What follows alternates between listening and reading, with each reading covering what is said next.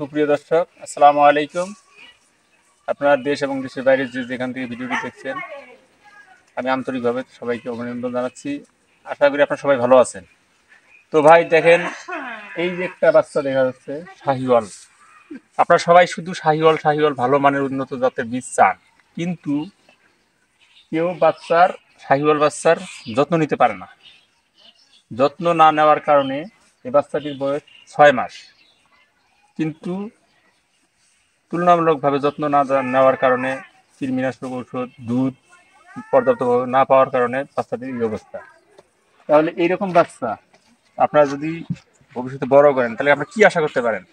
ভালো একটা বীজ দেওয়ার পর অবশ্যই ভালো ফলন পেতে হলে আপনার ভালো যত্ন নিতে হবে বাছুরের।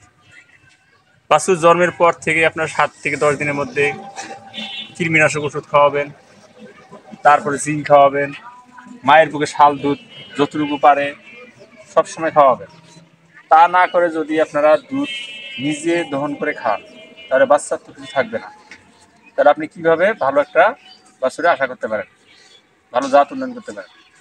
তো প্রত্যেকটা এআই কর্মী আশা করে ভালো একটা বীজ দিয়ে, ভালো খামারিকে ভালো কিছু উপহার দেওয়ার জন্য সেই উপহারটি যদি আপনারা পেতে চান অবশ্যই ভালোভাবে বাছুরকে যত্ন নিতে হবে।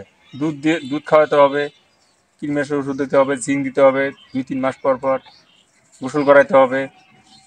তবেই তো আপনারা লাভবান হতে পারেন। তো আজকে যে বাছুরটি দেখছেন, আপনারা দেখলে বুঝতে পারবেন যে বাছুরটি কি, কোন খাদ্যের অভাবের কারণে বাছুরটি এরকম হয়েছে।